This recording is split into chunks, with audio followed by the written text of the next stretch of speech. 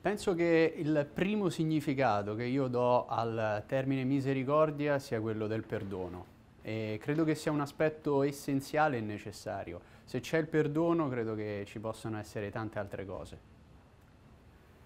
Per eh, l'anno della misericordia, per questo evento speciale di questo giubileo, ovviamente lavoreremo tutti insieme per eh, raccontare delle storie, per diffondere il messaggio della misericordia e poi inevitabilmente la mia speranza è quella anche di poter stare a Roma, nella mia città, per poter vivere questo grande appuntamento in un modo inevitabilmente speciale.